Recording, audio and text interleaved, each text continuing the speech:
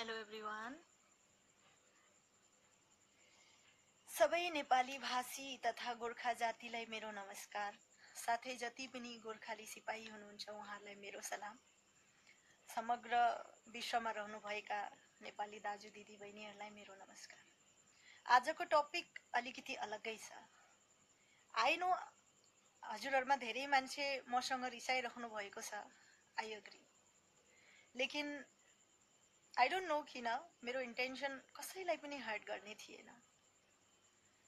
म एउटै कुरो भन्न चाहन्छु जब पनि एउटा आमा बाबाले बच्चालाई जन्म दिन्छ अरू त्यो बच्चाले जब गल्ती गर्छ आमा बाबाले त्यसलाई दुई थप्पड लाउँछ या त्यो बच्चालाई कराउँछ मोरबी भन्छ इभन मैले भी त्यो पर्सनल एक्सपिरियन्सले भन्दैछु है हामीहरू जब बचपनमा गल्ती गर्थ्यौँ फेरि के हुन्छ? त्यो बच्चालाई अलिकति चोट लागिसक्दा सबैभन्दा पहिले चाहिँ घरकै मान्छे पुग्छ। र ममा भी गोर्खालीको रगत छ। म म भी नेपालकी नेपाली चेली हुँ। र भलै मेरो मान्छेहरू आज अलिकति हार्ड छ मलाई थाहा छ। मेरो शब्दै सायद त्यस्तो थियो है। अरू मेरो इन्टेन्सन सबसे भन्दा पहिलो कुरो कसैलाई बी हार्ट गर्नु या कसैको यु नो इमोसन्सलाई चोट पहुँचाउनु थिएन। सही कुरामा भन्न जाँदाखेरि त्यसै पनि नेपालको जनता आफ्नो संविधान र पोलिटिकल प्रब्लमलाई लिएर धेरै जुझिरहनु भएको छ। त्यसको समयमा जब हामीहरूको हात काट्छ या काहीँ घाउ लागेको हुन्छ त्यसमा गएर हामीहरूले उङ्ली राखिदिँदाखेरि चाहिँ धेरै दुख्छ सायद मैले बि त्यही गरेँ। अलरेडी उहाँहरू प्रब्लमसँग जुझिरहनु भएको छ। र मैले भनेका वर्डहरू म वापस लिँदैछु। अरू आई नो यस्तो खालको कमेन्ट गर्नु कामलाई लिएर त्यो मेरो गल्ती थियो। पर्सनली पनि म फिल गर्छु त्यो कुरो है। लेकिन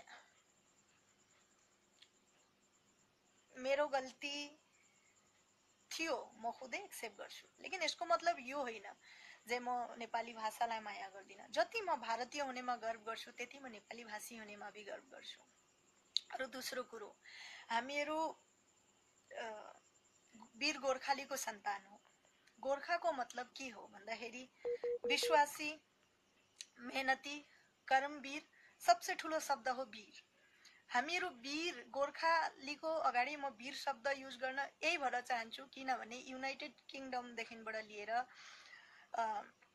युएस युके आर्मीमादेखिबाट लिएर इन्डियन आर्मीमादेखिबाट लिएर गोर्खा रेजिमेन्ट त्यही भएर प्रोभाइड गर्छ किनभने गोर्खाहरू बहुत विश्वासी हुन्छ।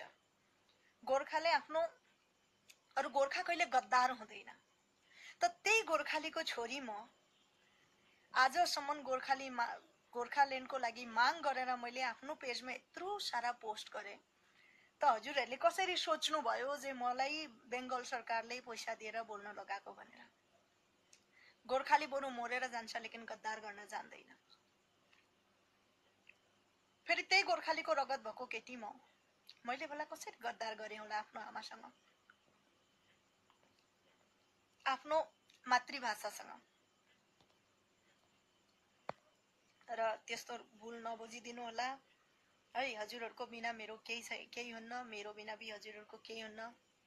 हामीहरू एउटाले अर्को दुईजनाको साथ मिलाएर पुरा दुनियाँमा राज गर्ने। अरू मैले जति पनि आमा बुबा दाजु दिदी बहिनीहरूलाई मैले दिल दुखाएको छु। आम एक्सट्रिमली सरी त्यसको लागि। भविष्यमा बि त्यस्तो खालको हमेसा मैले अगाडिको स्टेटमेन्टमा बि भने मेरो सायद त्यो स्टेटमेन्ट अहिलेको सिचुएसनमा रङ थियो। त्यो म बि एग्री गर्छु। दार्जिलिङमा जहाँ आगो बलिराखिएको छ अरू दार्जिलिङको लागि कति बच्चाहरूले आफ्नो आमा खोएको छ कति मान्छेहरूले चाहिँ नि कतिले पति कति वाइफले हस्बेन्ड खोएको छ कति बच्चाहरूले आमा खोएको छ र त्यो त्यागलाई बि मेरो सलाम। त्यो बच्चाहरूको ईश्वरले गरून् त्यो बच्चाहरूको कहिल्यै पनि हिम्मत नटुटोस्। अरू यति नै म चाहन्छु भगवान्सँग पनि प्रे गर्छु आशा गर्छु हजुरहरू सबैले पनि यो कुरालाई एग्री गर्नुहुन्छ जे त्यो वीरहरूको हाम्रो वीरहरूको यो योद्धा हुनुहुन्थ्यो।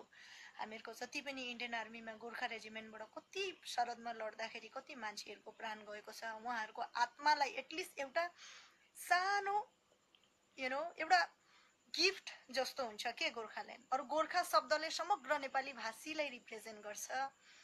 र आज म पनि एउटा गोर्खा चेली हुँ।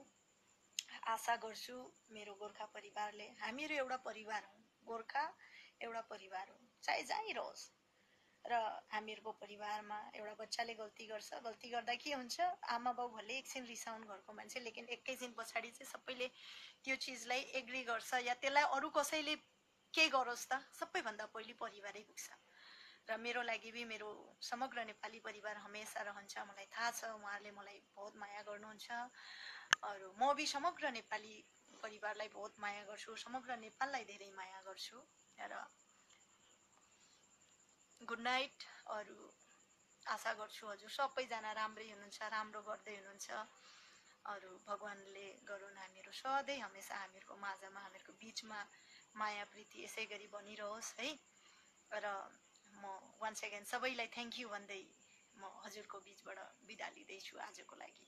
Thank you very much for everything अरू सबैजनाको सुख समग्र नेपाल तथा नेपाली भाषी समग्र विश्वमा हुनुभएका नेपाली भाषीहरूको सुखको कामना गर्दै खुसीको कामना गर्दै म हजुरको बिचबाट बिदा लिँदैछु। Thank you very much good night